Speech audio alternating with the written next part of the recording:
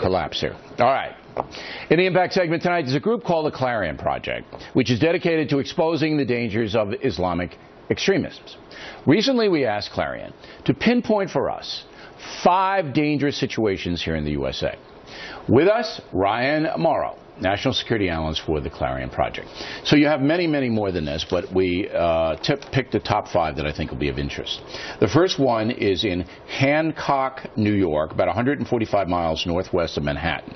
What's going up in Hancock? There's actually a place there called Islamberg. They have a sign that says, Welcome to Islamberg. It's about a 60, 70 acre large compound, and it's the headquarters for a group called Muslims of the Americas that follows a radical cleric in Pakistan. The videotape uh, that's on the screen is something that was given to me by law enforcement showing them engaging in guerrilla warfare training at that Islamberg compound. Okay, so Islamberg, upstate New York, they have weapons. It's private property. Right. All right. They're training on the property. Can the authorities do anything about it?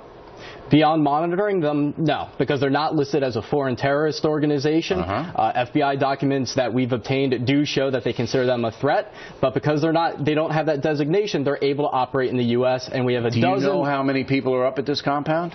At that specific one, no, but the estimates of the number of members that this group has across the country, they say they have 22 of these places across the country, is somewhere around 3,000. Training ground. Wow. All right, now we have the Dar el Hijrah Islamic Center in Falls Church, Virginia. What's going on there? Right, a history of radical leadership over there. Anwar al-Awlaki used to be their imam before he went over and he joined Al Qaeda. Mm-hmm. And there was even videotape that was taken of the current imam speaking uh, recently in Virginia, where he specifically said that Muslims should be first in line to get the arms for jihad.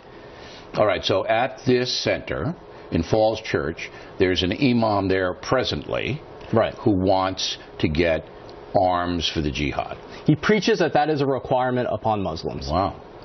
All right, the third one is one I mentioned last night in Brooklyn, New York, with John Stossel. It's the uh, Masjid at Taqwa Mosque.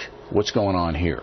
That's led by Siraj Wahhaj, one of the most radical imams in the country, yet he manages to be a rock star speaking at Muslim events across the country yeah, and even college be, campuses. He's going to be in Dallas this weekend in Garland, Texas for a big conference, and I brought that up to the imam we had on last night, who didn't seem to think this guy was so radical.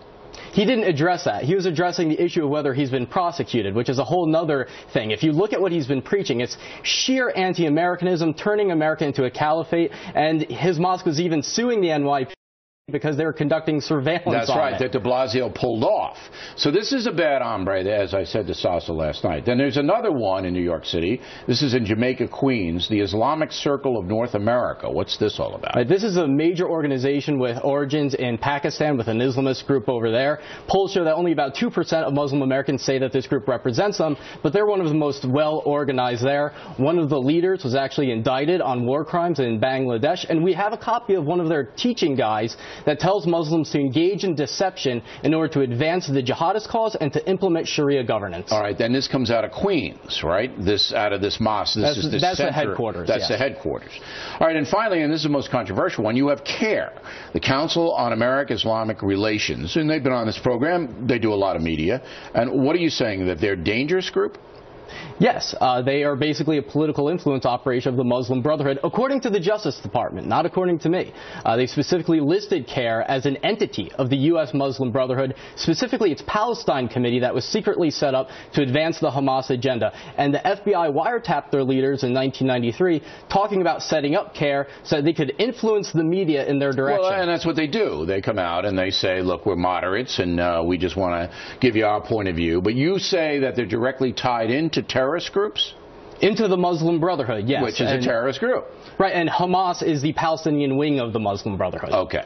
Um, now, final question is this is pretty frightening stuff, but you would assume the FBI knows about all of this if you know about it, and sure. the Justice Department is surveilling them and have them under control. And in a free and open society, this is the rest of them that we didn't talk about. This is the map that has all of these have raz, radical Muslim mosques or operations in all of those towns, and, and it's amazing. Look at them: Sacramento, outside of L.A., Pittsburgh, Chicago. Uh, on, on and on. So my question is, Should Americans be concerned, or is this under control? It can't be under control just through monitoring them. And again, when it comes back to the issue of the ideology, which President Obama refuses to recognize, yes. that's the problem here. It's not just about the person that's setting off the bomb. It's about the overall ideology that combines mosque and state, that justifies jihad anywhere, and we need Muslim leaders to step up and fight against those interpretations. The most positive news I've seen is the poll that showed that these organizations have so little support among Muslim Americans. Right. All right. Very interesting, Mr. Mauro. Thank you for coming on. Thank you. Directly ahead, President Obama.